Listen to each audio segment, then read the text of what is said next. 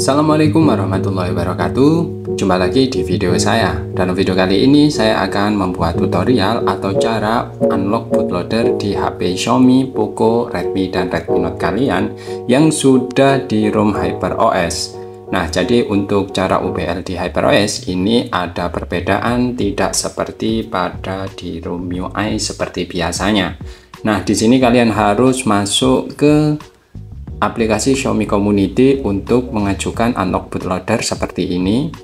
Dan juga di situ kalian harus melakukan pengajuan karena harus menunggu ACC seperti ini. Nah bagaimana kalau kalian sulit untuk di ACC Oke, akun yang akan saya pakai di sini adalah akun yang masih belum saya gunakan untuk melakukan pengajuan unlock bootloader di Xiaomi Community dengan regional global. Nah, jadi kalian harus ke regional global terlebih dahulu, lalu kalian pilih unlock bootloader. Nah, di sini saya pilih another account. Nah, karena ini adalah akun yang belum saya ajukan di aplikasi Xiaomi Community dengan regional global. Nah, lalu kita masuk seperti ini. Nah, login sukses. Sekarang kita pilih unlock bootloader, apply for unlocking. Kalian pilih apply for unlocking. Nah, di sini ada application kuota limit. Nah, di sini berarti ini masih belum dikasih perizinan atau kita harus disuruh untuk kembali ke tanggal setelah ini. Nah, sekarang kita akan melakukan bypass. Jadi dengan melalui cara ini kita bisa melakukan unlock bootloader di HyperOS tanpa melalui pengajuan akun. Nah seperti ini. Nah jadi kalau kita pilih seperti ini nah kita tidak bisa. Nah nanti kita masuk ke nanti kita bypass melalui file PHP Nah, jadi pada tutorial kali ini kita akan melakukan unlock bootloader di HyperOS tanpa melakukan pengajuan di aplikasi Xiaomi Community Region Global. Seperti apa tutorial lengkapnya? Ikuti terus video ini hingga selesai. Oke, pertama-tama kalian aktifkan dulu USB debuggingnya, yaitu kalian masuk ke tentang ponsel, lalu kalian ketuk versi OS-nya seperti ini jika sudah masuk ke setelan tambahan. Lalu kalian masuk ke opsi pengembang seperti ini.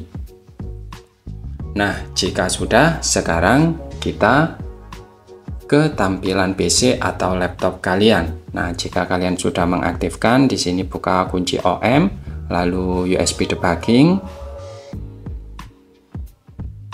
Nah, sekarang kita ke tampilan laptop. Nah, pertama-tama di situ kalian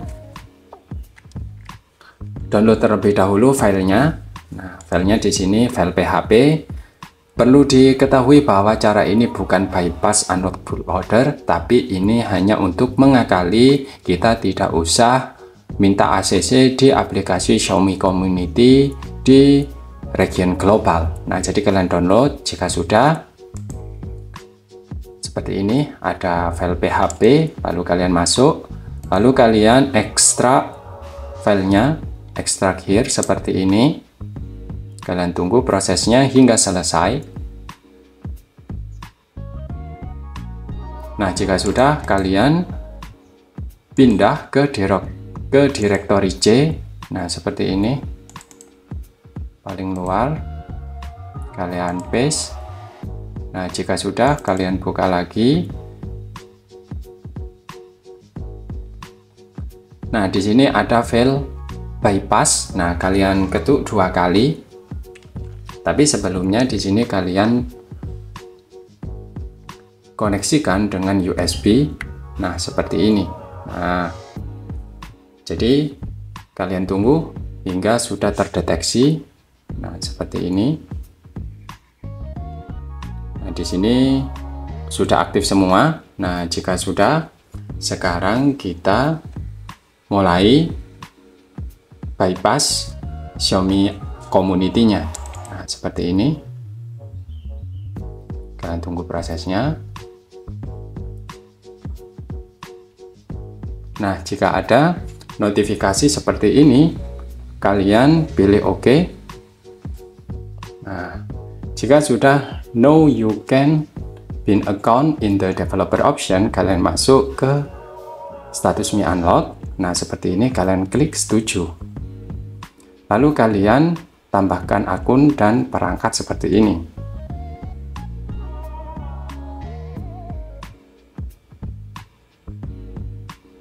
Jika pada tampilan di sini request parameter error, maka kalian harus mengikuti tutorial selanjutnya yaitu dengan cara seperti ini. Kalian buka folder satu setting apps, lalu kalian sesuaikan file Android-nya ini. Karena saya pakai Android 14, maka kalian pilih atau pindahkan. Kalian copy saja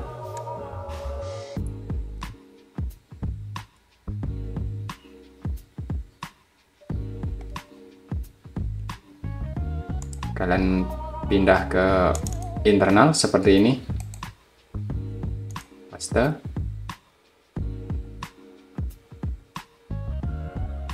nah sekarang kita install aplikasinya. Nah,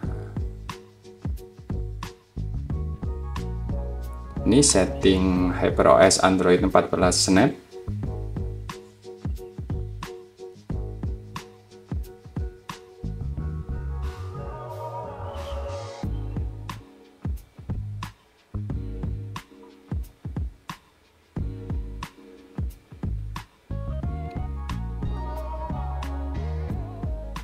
kalian install saja seperti ini install seperti biasa. Nah sekarang kita ulangi lagi prosesnya yaitu kita ke tampilan setelan tambahan lalu ke opsi pengembang. Seperti ini. Lalu kalian kembali lagi ke laptop. Nah di sini buka folder PHP kembali. Lalu kalian pilih file bypass Nah, tunggu prosesnya hingga selesai. Kalian buka status Mi Unlock-nya tadi. Nah, kalian klik setuju. Kalian tunggu. Lalu kalian tambah akun dan perangkat.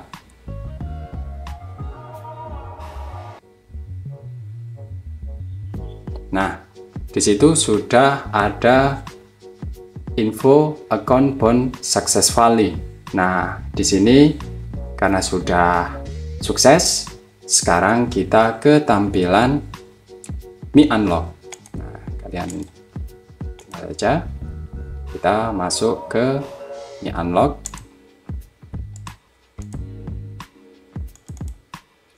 Untuk HP-nya sekarang kita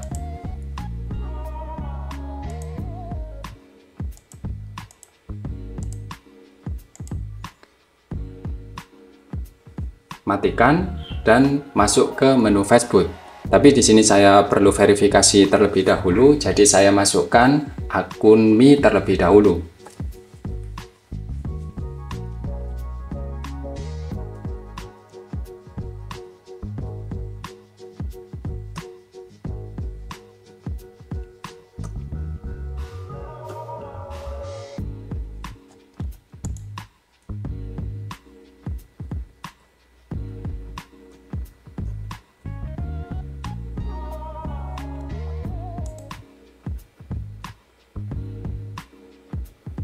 Nah, di sini kalian ingat-ingat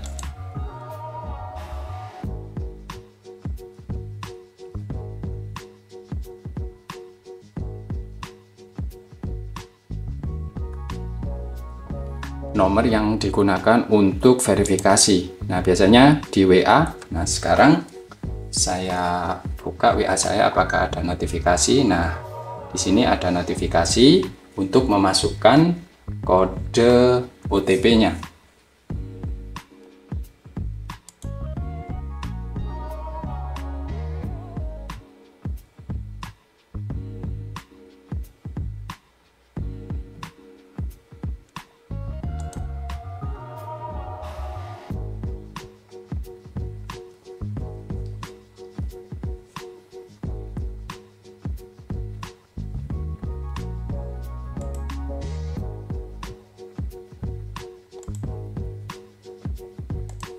Oke, proses login di Mi Unlock sudah selesai. Sekarang kita ke tampilan dari HP-nya.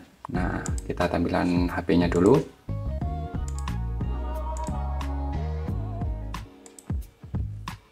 Nah, sekarang kita masukkan mode fastboot. Kita matikan terlebih dahulu.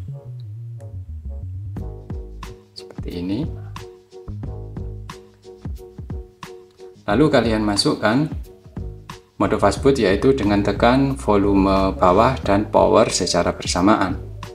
Nah, seperti ini. Pilih unlock seperti ini. Proses ini akan membutuhkan waktu tunggu dulu ya. Jadi ini pasti tidak akan berhasil. Langsung unlock. Nah, ternyata prosesnya di sini sudah sukses. Saya sendiri juga nggak mengira karena file ini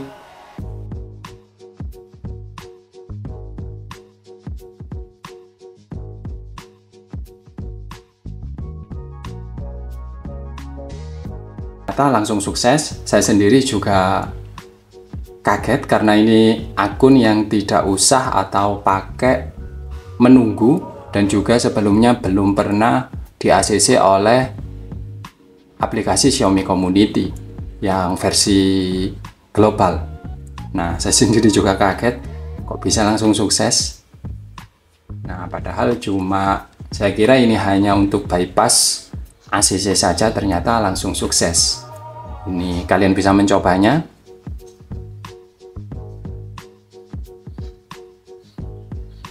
Oke, proses unlock bootloader sudah selesai. Nah, sekarang di sini kalian tunggu prosesnya hingga selesai masuk ke home atau setup wizard.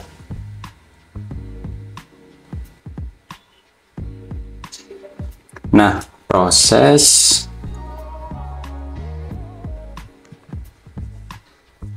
sudah selesai seperti ini. Kalian masuk saja. Saya lewati.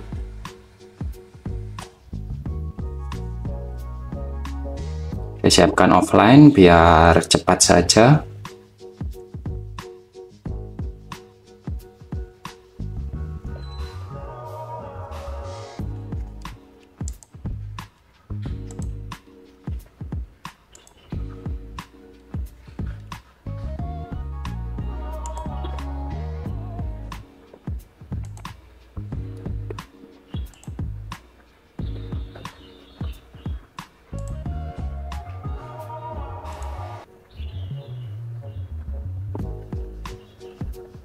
jangan salin.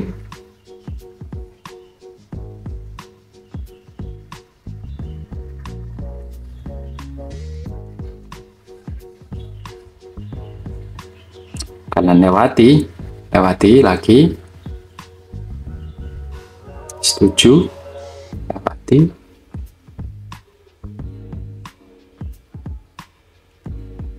Nah kalian matikan ya perhatikan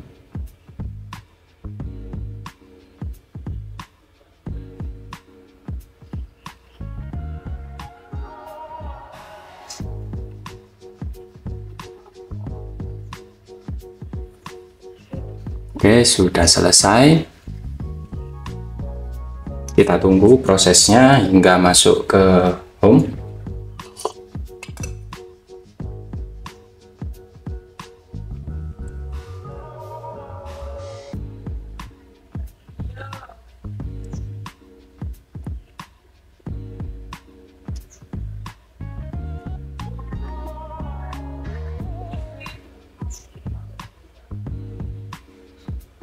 Nah, sekarang sudah masuk ke home. Sekarang kita cek apakah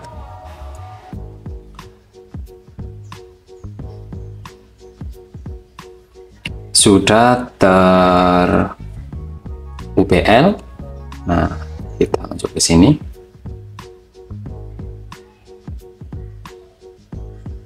Si pengembang status Mi Unlock. Nah, sudah terbuka oke sudah sukses untuk proses unlock bootloader di HyperOS cara ini bisa kalian terapkan di HP Xiaomi, Poco, Redmi, dan Redmi Note kalian sekian dulu untuk tutorial kali ini jika kalian suka, kalian bisa klik tombol like. Jika kalian ingin bantu channel ini agar lebih berkembang, kalian bisa klik tombol subscribe dan jangan lupa share. Buat kalian yang ingin tanya-tanya, kalian bisa ketik di kolom komentar. Jumpa lagi di video saya selanjutnya. Wassalamualaikum warahmatullahi wabarakatuh.